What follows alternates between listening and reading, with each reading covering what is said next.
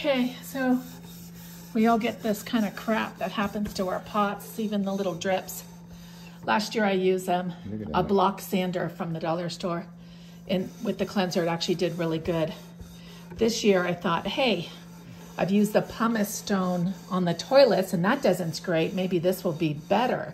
Definitely was faster, but it made all these The scratches and you don't want that. So now he's using, Problem is, there's this coating on this. is there SOS? What is steel wool just still, from the dollar store probably? no, I think from Lowe's. Lowe's or um, sometimes Ace. Hardware, those kind of things. And he didn't put any cleaner. And I even first had a, a warm, wet towel thinking that might help, but it didn't seem to make a difference. So again, don't use a pumice stone. With the toilets, pumice stones are great um, for hard water stains on a pool as well.